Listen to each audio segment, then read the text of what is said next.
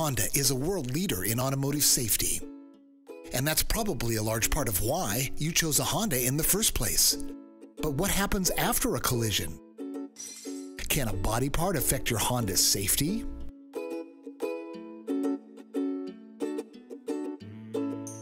When you have a collision, there's plenty to think about. Some may consider cutting corners on a repair or part, but virtually everyone is concerned about the vehicle's safety after a repair. Beyond the structural integrity and performance, a critical question is how everything will function within Honda's sophisticated vehicle operating and safety systems, especially the airbag systems. The airbag system relies on information collected by various sensors to determine the severity of the crash impact. The crash impact transfers energy to the sensors that communicate to the control unit, that analyzes the data, determines system response, and, if airbag deployment is necessary, communicates to the appropriate airbag. A change in an involved part could affect the performance of the part, especially how it integrates and communicates with the safety systems. If you replace a system part, like a sensor or control module, with an alternative part, you'd expect a performance change. But what about a change to an exterior part? Can a body part affect the vehicle's safety systems? Let's look at one of the most commonly affected parts in a front-end collision, the bumper. Bumpers have been around for a long time. Initially, they were designed to protect parts, not people. But vehicles and bumpers have evolved. Structurally, the bumper beam is the very center of the front end, including parts and assemblies designed to minimize weight while protecting parts and people.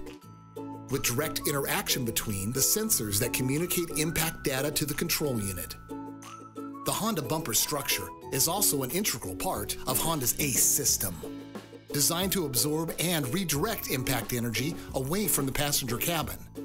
Like every Honda part, they're designed and tested specifically for each Honda vehicle. Parts, quality, and performance are driven by design, materials, and manufacturing quality. Aftermarket parts typically start with a disadvantage in design.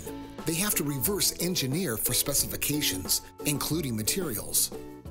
So, whether from a conscious compromise for cost or from the limitations of best guess reverse engineering, differences are virtually unavoidable. Manufacturing methods and precision, including superior quality control and standards, can create further differences.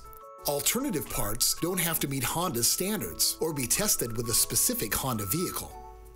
So, we tested to see how alternative parts might affect safety system performance. Differences may not be obvious, but they are relatively easy to measure. So first, the lab compared the part's composition and precision. Dynamic tests can not only help us measure the difference in impact results, they help us see the difference. But the differences are easiest to see and understand in a dynamic crash test. Comparing Honda's original bumper parts to a commonly available aftermarket bumper part in this independent test. With all the original airbag system parts, the aftermarket bumper version triggers the airbag 7 milliseconds late. And the passenger side? The airbag deployed about 4 milliseconds later than a vehicle with Honda bumper parts. Let's look at that again. The result is increased strain and potential injury to a passenger's neck, which had this been an NHTSA NCAP test, would have dropped the vehicle's frontal safety crash rating for the passenger seating position from 5 stars to 4.